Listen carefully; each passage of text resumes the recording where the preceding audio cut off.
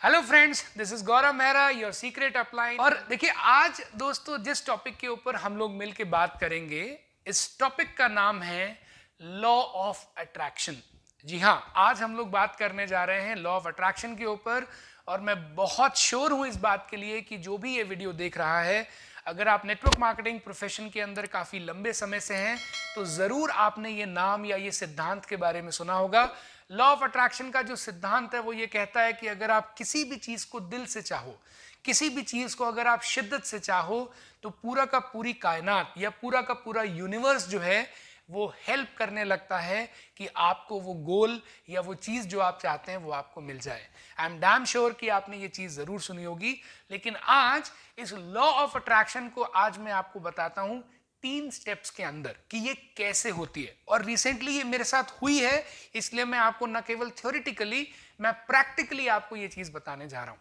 पहली चीज़, देखिए law of attraction सिर्फ़ तब काम करेगी अगर आप किसी ऐसे गोल या ऐसे ड्रीम के बारे में सोचेंगे जिसके लिए आप इमोशनल हैं। उसमें कहते हैं ना कि जिस चीज़ को आप दिल से चाहो, उसमें ऐसा तो कहीं नहीं लिखा, जिस चीज़ को आप दिमाग से सोचो, वो आपको मिलेगी। अब दोनों में फ़र्क क्या है? दिमाग लॉजिकल होता है, दिल इमोशनल होता है। मतलब अगर आप कोई ऐसी चीज़ चाहते हैं जिसके लिए आप इमोशनल हैं एग्ज़ाम्पल अगर आप कोई गाड़ी चाहते हैं, लेकिन आपको वो गाड़ी इतनी पसंद है कि जैसे ही आप उस गाड़ी के बारे में सोचते हैं तो आपके मुँह पे एक स्माइल आ जाती है। जब आप डे ड्रीमिंग करते हैं कि एक दिन मैं वो गाड़ी लूँगा तो कैसा लगेगा तो आपका जो यू नो लाइक जो खुशी है वो बढ़ने लग जाती है। और अगर कहीं आपको ये लगने लगे कि पता नहीं गाड़ी नहीं आएगी तो आपके अंदर से वो डर होना चाहिए। अगर उतना एक कनेक्शन इमोशनली आपका उस कार के साथ नहीं है तो लॉ ऑफ़ अट्रैक्शन कभी काम ही नहीं करेगी। ये कुछ ऐसा हुआ कि वो अट्रैक्ट तो होगी, लेकिन मैग्नेट में वो पुलिंग पावर होना तो चाहिए। अगर आपके ड्रीम में वो मैग्नेटिज्म है ही नहीं तो यूनिवर्स आपकी हेल्प करेगी नहीं।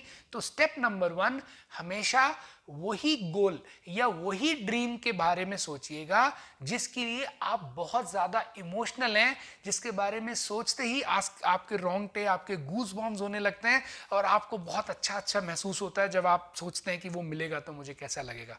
This is step number one step number two उसको बोलते हैं लॉ ऑफ़ डिक्लेरेशन जी हाँ ये भी एक बहुत कमाल की बात है। एग्ज़ाम्पल लेते हैं, आपने गाड़ी के लिए डिसाइड कर लिया कि भाई मैं गाड़ी लूँगा और इस पर्टिकुलर डेट को मेरी गाड़ी में लेना चाहता हूँ। तो दूसरी चीज़ ये ज़रूर करिएगा कि आपको जब भी कोई भी स्टेज मिले, कोई भी प्लेटफॉर्म मिले, चाहे उसमें पाँच लोग बैठे हों, पचास लोग बैठे हो 500 लोग बैठे हो या 5000 लोग ही क्यों ना बैठे हों?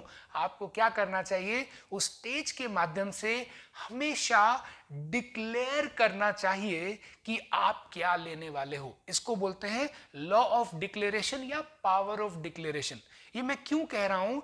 बहुत सारे लोग हैं जो अपने मन के अंदर सोचते हैं कि मैं एक दिन ये चीज़ ले लूँगा, लेकिन अंदर ही अंदर उनको ये डर सताता है कि अगर नहीं आई तो बहुत बेइज्जती होगी। तो मैं काम क्या करता हूँ? मैं डिक्लेयर नहीं करता मैं बताता नहीं।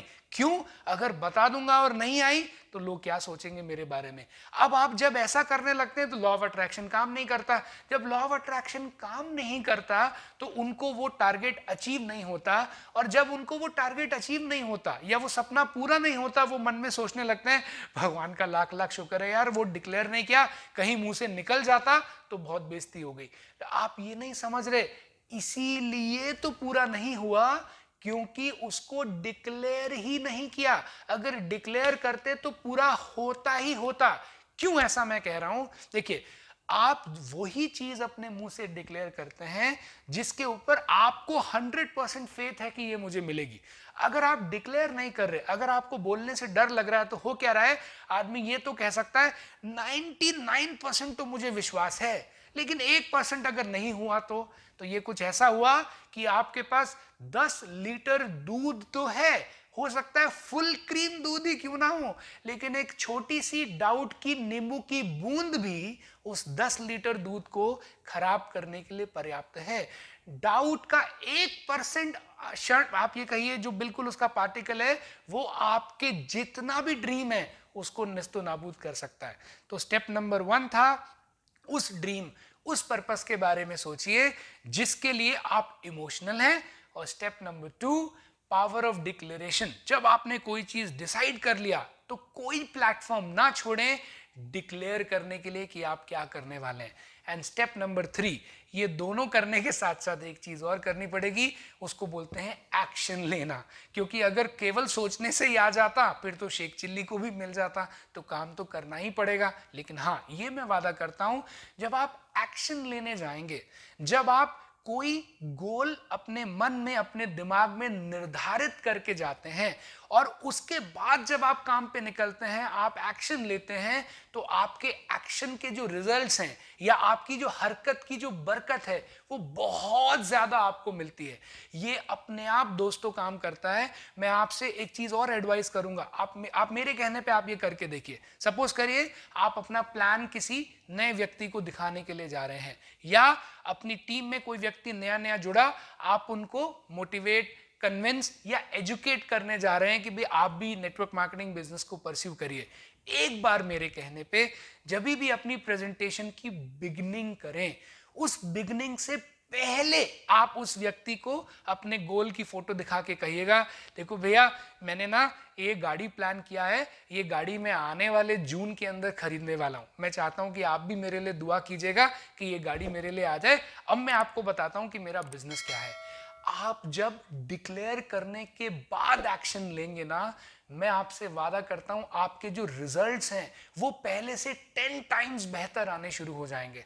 तो ये तीनों स्टेप्स को फॉलो करिए। स्टेप नंबर वन वो ड्रीम वो सपना देखिए, वो पर्पस बनाइए जिसके लिए आप इमोशनल हैं। Step number two power of declaration जिस भी स्टेज पे, जहाँ पे भी मौका मिले, अपने मुँह से ज़रूर उसको डिक्लेयर करिए।